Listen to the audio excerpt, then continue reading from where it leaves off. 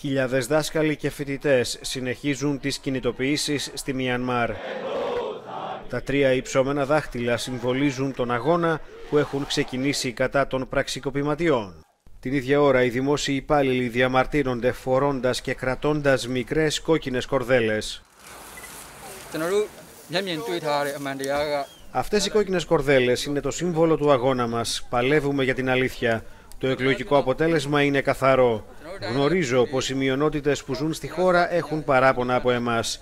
Έχουν κάποιο δίκιο, καταλαβαίνω πως νιώθουν. Όμως τώρα στεκόμαστε στο πλευρό τους. Ο αγώνας μας είναι κοινός. Η δημοκρατία πρέπει να νικήσει. Οι πραξικοπηματίες έχουν απαγγείλει κατηγορίες εναντίον της Αούγκ Σαν Σουκί, ενώ σύμφωνα με πληροφορίες η ηγέτης της Μιανμάρ κρατείται στο σπίτι της.